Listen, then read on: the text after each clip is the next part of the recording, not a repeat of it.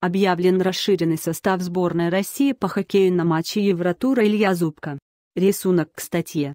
Тренерский штаб сборной России по хоккею во главе с Олегом Знарком обнародовал вчера список игроков, которые будут готовиться в составе национальной команды к матчам Еврочелленджа и Евротура. Эти турниры станут репетицией перед чемпионатом мира.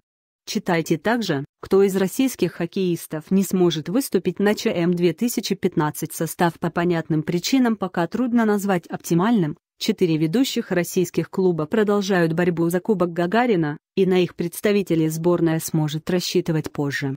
Как и на НХЛовцев.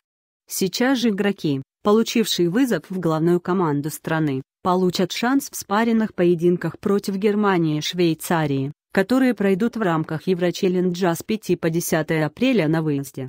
Затем сборной предстоит поездка в Финляндию на два матча Евротура, 16 и 18 апреля.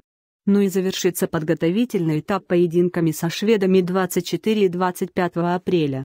Эти встречи пройдут в подмосковных мытищах.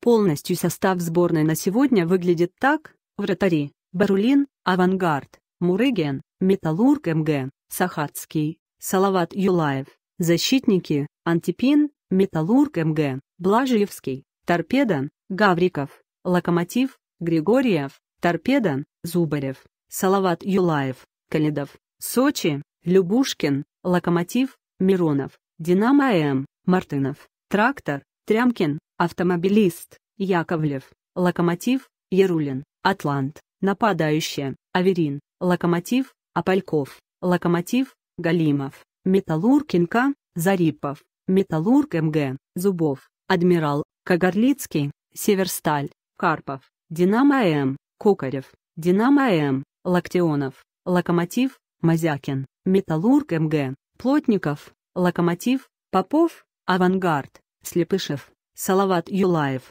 Сошников, Атлант, Тимкин, Металлург МГ, Чернов, Северсталь, Широков, Авангард, Шмелев, Атлант.